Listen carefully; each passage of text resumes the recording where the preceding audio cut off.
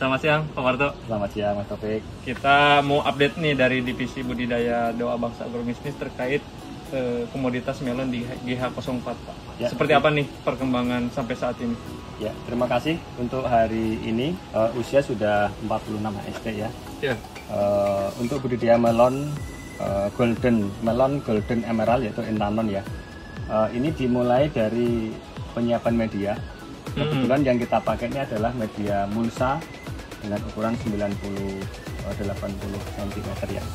Nah, ini di media ini kita mix dengan eh, sekam dan kohit. Untuk pupuk dasarnya, Pak ya. ya, betul. Ada tambahan tambahan. selain koe ini apa? Nah, sebetulnya di sini kita yang paling dominan adalah pupuk dasar yang kita berikan itu adalah pupuk fosfat kreasi. Ini kandungan fosfat yang kita harapkan menjadi bahan makanan cadangan utama untuk eh, tanaman melon. Oke, Nah. fosfat yang pertama, yang kedua Pertama fosfat. berarti Yang kedua adalah pupuk Futura. Yang sini banyak mengandung eh, bahan organik dan karbonnya cukup bagus untuk tanaman sehingga membuat tanaman terlihat hijau segar. Oh. Ya. Nah, kalau tadi belum Pak yang fosfat ini Ya. jadi dasar penggunaan fosfat untuk keunggulan melon Salah seperti apa, satunya unsur P itu adalah untuk ketahanan. Jadi tanaman yang menggunakan fosfat kreasi ini eh, tanaman mempunyai daya ketahanan terhadap serangan penyakit. Itu Nah, keunggulannya Pak ya. Keunggulannya menggunakan fosfat kreasi sebagai ketahanan Oke. untuk serangan terhadap HPT. Siap, siap. Nah, selanjutnya eh, ini diaplikasikan dengan sama dengan tabur ya, karena selain menjadi cadangan makanan, ini juga menjadi nutrisi plus yang akan dipakai dalam jangka waktu yang cukup lama. Berarti cara secara aplikasi Pak, Ya, fosfat kerasi dan putura ini sebelum tutup musa berarti. ya betul.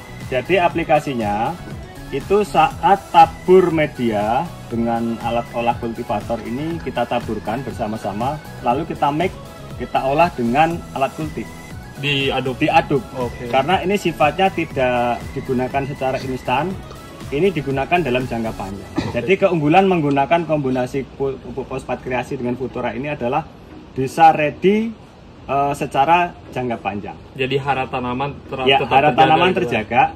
Bisa kita lihat kondisi tanaman kita Kondisi cukup. dari fisik Pak bisa Ya, terlihat bisa. seperti apa Pak? Eh, Efek setelah indikator menggunakan ini. indikator kita menggunakan pupuk fosfat kreasi kombinasi dengan Futura ini adalah kita lihat daun, Daun, kita ya. lebar warnanya hijau gelap batangnya besar dan dari pangkal sampai atas hijau segar Jadi hijaunya merata Pak Ah, hijaunya ya. merata dan Oke. kondisi daun istilahnya tuh dark green hijau gelap Hijau gelap. hijau gelap Depan, Pak Dan Taufik. untuk itu kan untuk vegetatif Pak ya. ya ya Untuk secara generatif untuk buah seperti Ya. apa Pak? Eh, dengan harapannya adalah eh, pertumbuhan buah di usia 25 sampai 30 ini adalah ini sudah mengandalkan eh, unsur-unsur generatif. Artinya penggunaan bahan-bahan yang nantinya untuk pembesaran buah, size buah, kualitas buah dengan brick. Nah, ini Brick menggunakan itu kemanisan brick ya? itu kemanisan. Oke. Yang di situ kita juga ada bahan KCl dan KNO putih ya, yang itu kita mix.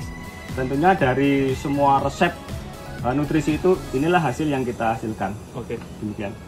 Berarti Pak secara aplikasi kan tadi di awal sebelum tanam Pak ya. Betul, betul. Kemudian secara hasil juga Ya, terhadap daun, terhadap buah eh, juga baik. Tapi secara eh, kualitas buah ada pengaruh nggak Pak dari aplikasi fosfat dan kita sudah ini. menguji beberapa greenhouse yang sudah panen ya. Itu dari kualitas net ini akan terbentuk jika nutrisinya cukup bagus. net itu Netnya tampilan luar ya. tampilan luar. Oke. Itu sweet net. Terus brick juga lebih stabil. Di di berapa, atas 12 sampai 15. 12 sampai 15. Ya, itu standar sekali. Nah, dari semua unsur tadi itu akan mensupport pertumbuhan buah karena nutrisi itu akan diarsop atau diserap oleh Diserap. buah sehingga buah akan membesar. Berarti secara kualitas buah juga Ya. dengan fosfat dan putra ini Ya, ada akan excellent, buahnya pun akan excellent Oke. sempurna. Berarti eh, itu terkait hasil aplikasi dari fosfat, kreasi Ya. dan pupuk Futura yang telah dijelaskan tadi panjang lebar Ya. oleh Ya. Pak Suwarto dan kepada mitra DBA jangan ragu untuk menggunakan fosfat kreasi dan pupuk Futura baik untuk komoditas melon maupun komoditas lainnya. Sekian, terima kasih. Salam DBA. DBA berkreasi untuk pertanian Indonesia. Salam DBA.